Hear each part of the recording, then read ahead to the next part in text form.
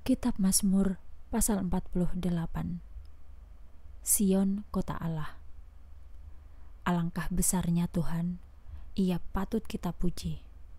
Ia berdiam di gunung Sion di Yerusalem.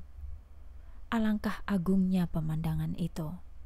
Lihatlah gunung Sion yang menjulang tinggi di sebelah utara kota sehingga tampak dengan jelas.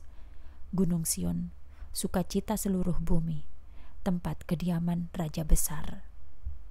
Allah sendiri adalah pembela Yerusalem. Raja-raja di bumi telah datang bersama-sama untuk menyelidik kota.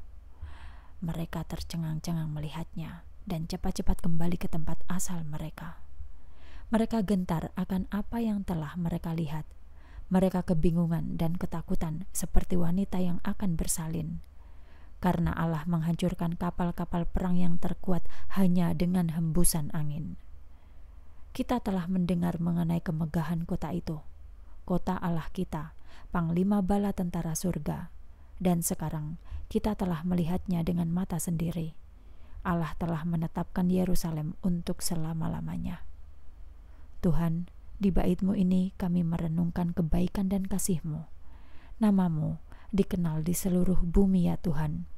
Engkau dipuji di mana-mana atas keselamatan yang telah kau sebarkan di seluruh dunia. Hai Yerusalem, bersukacitalah. Hai orang-orang Yehuda, bersukacitalah. Karena Allah menjamin bahwa kamu akan diperlakukan dengan adil. Pergilah dan periksalah kota itu. Berjalanlah berkeliling dan hitunglah menara-menaranya yang banyak itu.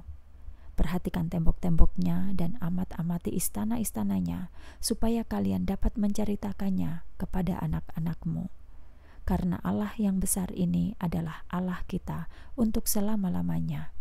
Ia akan menuntun kita sampai akhir hayat kita.